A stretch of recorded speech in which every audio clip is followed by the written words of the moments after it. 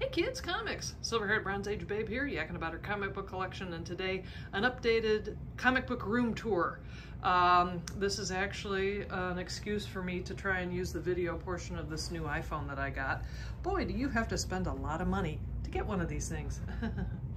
um, so I have added to the Neal Adams signed print collection uh, since his passing last month, which still I'm very sad about. Um, I went over to the claim sale that they have out of Continuity Studios and I picked up this Giclée. It's signed um, and it's a painted uh, version of the Detective Comics 1000 uh, variant cover.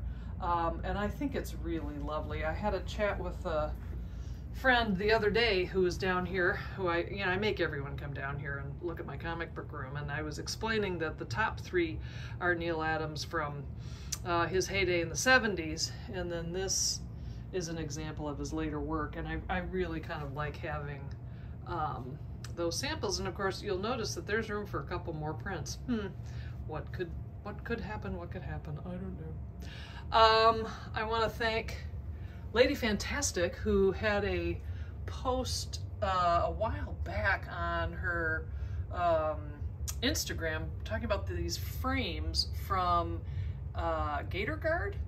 Um, and I thought they looked pretty cool because you can pick colors of uh, little screws uh, to go in them. So I have some higher grade copies of Lois Lane books.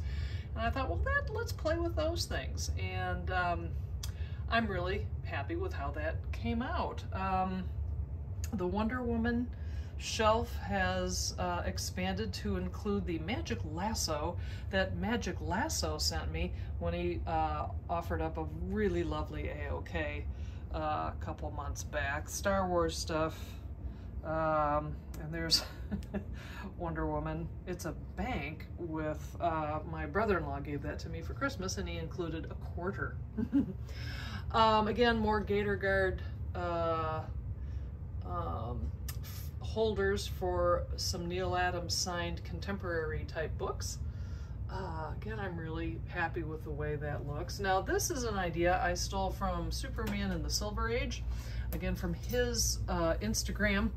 He had uh, both of these covers with Lois Lane in her um, uh, in in that super lady kind of costume, which I'm, I'm sorry I'm fumbling on it, but it's like, well, that's the smartest idea in the world. So how about if I bring my Lois Lane uh, action figure down here and pair it with those famous Silver Age covers. Hey, how about that?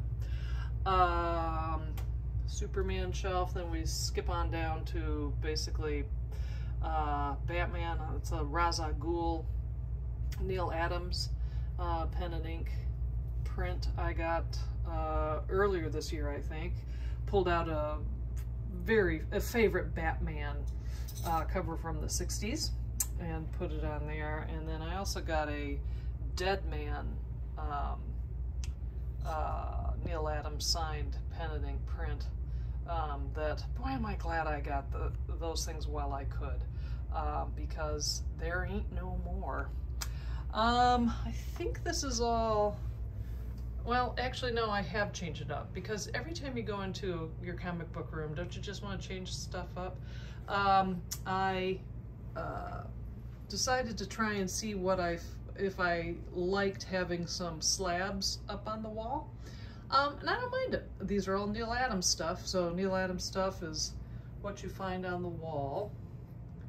Um, and the other day I had some little kids down here um, and they wanted to know if I liked comic books so I took the covers off the the boxes there and showed them oh, oh yes as, as a matter of fact I do.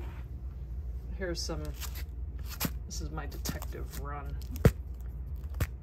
Sometimes it's just fun to paw through those.